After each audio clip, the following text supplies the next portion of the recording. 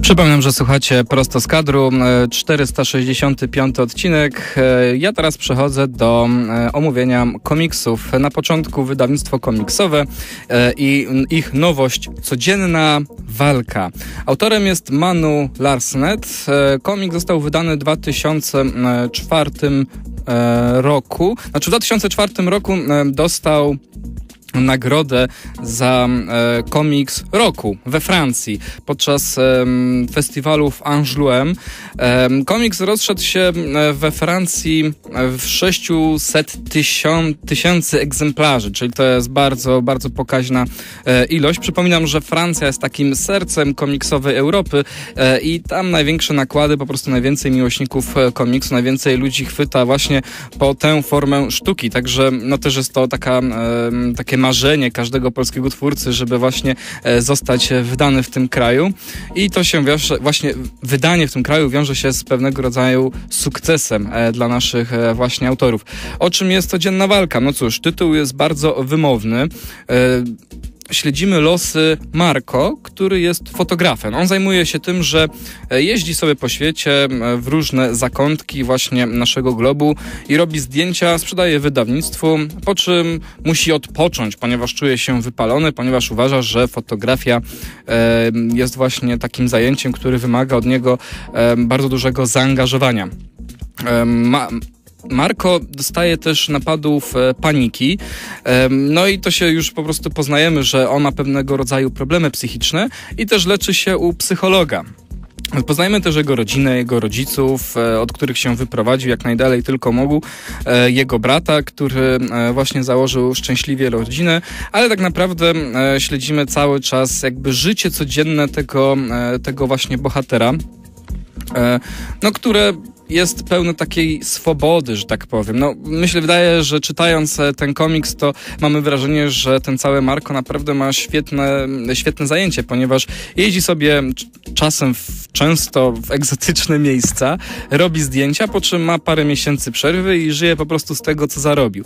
No niestety jakby sytuacja jego ulega zmianie, ponieważ zostaje zwolniony e, z tego wydawnictwa, no i tutaj grozi mu bezrobocie. A to, że mieszka sam, no to zaczyna go zjadać taka powiedzmy frustracja, taka niemoc artystyczna, ponieważ jestem fotografem i jest bardzo krytyczny wobec e, dokonań, wobec swojej pracy. E, Ogółem e, też e, okładka jest takim spoilerem, nie ukrywajmy, ponieważ na okładce widzimy głównego bohatera e, wraz ze swoją e, dziewczyną, żoną oraz e, córeczką, także już mogę zdradzić, że on poznaje pewną panią weterynarz w pewnych dziwnych okolicznościach, no i zakochują się w sobie i w ten sposób powolutku, pomalutku zakładają rodzinę. Ale jaki ma związek właśnie ta rodzina z tytułem? Otóż Wydaje mi się, że pomimo różnych wątków, ponieważ mamy tutaj jego karierę fotografa, że on próbuje zaistnieć, próbuje robić pewne zdjęcia e, różnych przyziemnych rzeczy, ponieważ już nie wyjeżdża gdzieś za granicę, szuka natchnienia gdzieś e, we Francji. E, pomimo, że widzimy też relacje z jego bratem, pom- pomimo, że mamy mm, jakby chorobę psychiczną głównego bohatera, ponieważ on się, przypominam, ma te ataki paniki, leczy się u psychologa, to jednak nam Pierwszy tutaj, e, pierwszy plan, co chce powiedzieć e, autor tego komiksu, jest ojcostwo. I mamy tutaj na dwóch płaszczyznach, ponieważ z jednej strony jest to, e, są to relacje głównego bohatera ze swoim ojcem, który jest byłym żołnierzem, uczestniczył w wojnie w Algierii.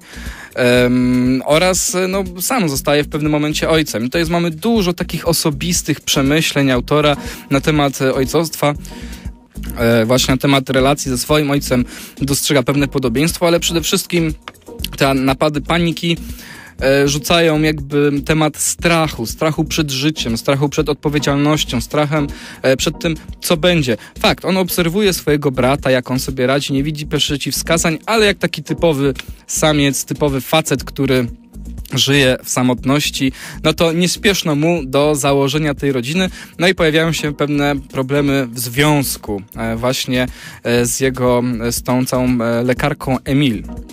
Em, Mam tutaj mnóstwo wątków. To, że jest właśnie temat ojcostwa jakby takim głównym tematem, on jest taki najbardziej na tej płaszczyźnie ten komiks jest najciekawszy, ma najwięcej do powiedzenia. Oczywiście to nie są tylko relacje, jest to komiks obyczajowy, ale no nie mamy tylko rozmów. Coś tutaj się dzieje. No mamy rozwijanie kariery e, głównego bohatera, mamy losy stoczni, w której pracował jego ojciec. E, mamy również wtrąconą politykę. Główny bohater, tutaj autor komiksu przemyca e, pewne treści e, lewicowe, aczkolwiek wprowadza też bohaterów o poglądach prawicowych. Oczywiście stara się zachować pewną, pewien obiektywizm e, w, jakby w starciu tych poglądów na politykę Francji. Przypomnę, że to jest początek XXI wieku, także no, no, no Francja sprzed ponad 10 laty. E, i konfrontuje jakby te wizje e, polityki, aczkolwiek e, jednak te prawicowe chociaż pokazuje jakby nie że słuszność, ale trafia w sedno tymi bohaterami, wypowiedziami tych bohaterów, to jednak no nie ukrywajmy, każdy autor nie jest obiektywny, przemyca jakby swoje tutaj e, wartości do tego komiksu. E, można się z nim nie zgadzać, można się zgadzać, e, aczkolwiek no to już pozostawiam wam, drodzy słuchacze, drodzy przyszli czytelnicy tego komiksu. On też rozwiązuje tajemnice przyszłości swojego ojca, no i mamy tutaj naprawdę parę takich wątków, które starają się zakleszczyć. Aczkolwiek komiks, który jest dosyć gruby, ponieważ on tutaj ma ponad 200 stron, no jednak jest pełen oddechu, pełen swobody w narracji. E, mamy tutaj naprawdę mnóstwo takich e, szczegółowych sytuacji, kiedy to autor idzie na spacer, bierze aparat, robi zdjęcia jakichś takich e, drobnych rzeczy, albo kiedy po prostu pracuje, kiedy zastanawia się nad swoimi pracami, nad swoimi portretami, czy, to, czy tędy droga, czy to się spodoba. E, równocześnie odgrzebuje pewne rzeczy z przeszłości. No i widzimy po prostu e, właśnie pełne e, historie bohatera, pełne drobnych motywów, pełne detali, pełne szczegółów. I to jest niewątpliwie wartość tego komiksu. No i taki cel sobie nałożył Manu Larsen w tym komiksie Codzienna Walka. A jaką mamy szatę graficzną? No cóż, jest to styl kartunowy, ale widać pewną swobodę w e, kresce tego autora. E, swoboda polega na tym, że no on nie przykłada takiej wielkiej wagi do tego, żeby jakoś e, starać się pokazać 100%, że tak powiem, talentu swojego rysowniczego.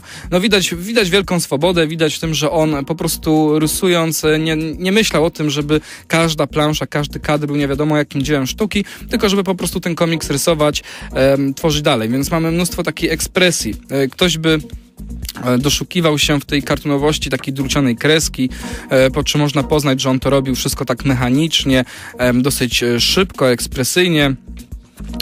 Nierzadko też mu przyroda, no szczerze mówiąc, nie wychodzą za bardzo mu, nie wychodzi za bardzo mu roślinność, nie ma jakiegoś swojego takiego patentu w rysowaniu krzaków, w rysowaniu drzew, widać ta, taką pewną nerwowość w pociągnięciach tutaj E, swoją kreską. E, widać taką, no też taką szkicowość, e, szybkość, że jakby tworzenie tej, tej roślinności jakby traktował troszeczkę za karę i starał się jak najszybciej zamalować, chociażby na jakimś tam jakimiś, nazwać, bazgrołami, te przestrzeń, które mają być e, drzewami, mają być właśnie e, krzewami, żeby szybko skończyć i przejść e, dalej. Aczkolwiek w jego rysunkach jest wiele detalu. On tam poświęca się, że robi na przykład jakąś tkaninę w pewnej restauracji, tkaninę... Mm, obrusu czy e, kanap, e, także jest wiele detalu, aczkolwiek no, widać tą zamaszystość, to, że on jednak nie skupiał się, nie robił cierpliwie jak ta mróweczka, tylko płynął dalej. No, jest to w jakiś sposób, znaczy nie, nie w jaki sposób. Jest to atrakcyjna szata graficzna ze względu również na kolorystykę, która jest bardzo przyjazna dla oka. Bardzo szybko przyzwyczajamy się również do tego jego kartonowego stylu. Nie przeszkadza nam w żaden sposób ta e, druciana kreska, ta swoboda w rysowaniu bohaterów. No i płyniemy dalej wzrokiem po tym komiksie, delektując e, się lekturą. E, ostatecznie komiks robi bardzo dobre wrażenie.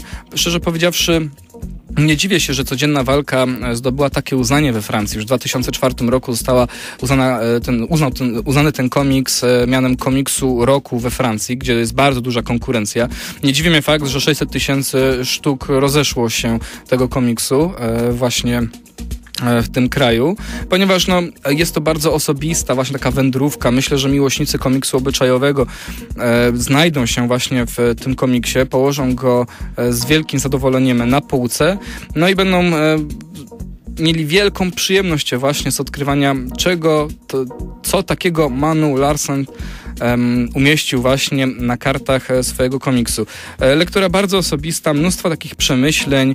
E, czytając komiks wchodzimy jakby w umysł naszego bohatera, który jest e, pełen strachu, ale e, zarazem pełen luzu, ponieważ no, jakby nie, nie trzyma się, nie, nie stresuje się jakoś tak super specjalnie e, sytuacją, w której się znalazł, chociaż te ataki paniki mówią troszeczkę coś innego.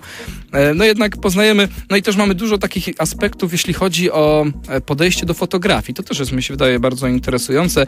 E, jestem ciekaw, jakby jakby skonfrontować treść tego komiksu z kimś, kto faktycznie zajmuje się fotografią, czy uznałby, że tutaj autor e, komiksu plecie głupoty, że doszukuje się fotografii nie wiadomo czego, czy też może wszystko się zgadza, że fotografia jakby inne oblicze fotografii, że mamy tą fotografię, gdzie sobie robimy zdjęcia grupowe w trakcie jakiejś tam imprezy rodzinnej, no i mamy zawodową fotografię, w której to autorzy starają się faktycznie uchwycić jakąś tam ulotną chwilę e, naszej codzienności. No jestem ciekaw, co by powiedział właśnie ktoś, który ma doświadczenie z e, obcowaniem aparatu fotograficznego. No cóż, codzienna walka z wydawnictwa komiksowego jest to komiks e, obyczajowy, warty uwagi, muszę przyznać. Także jeśli jesteście miłośnikiem komiksów właśnie alternatywnych, komiksów obyczajowych, e, komiksów, no gdzie nie inaczej, jeśli nie jesteście fanami komiksu superbohaterskiego, tudzież e, japońskiego, jeśli szukacie w komiksie czegoś więcej, to w tym momencie z, e, przyjrzyjcie się e, takiej pozycji, jaką jest codzienna walka z wydawnictwa komiksowego.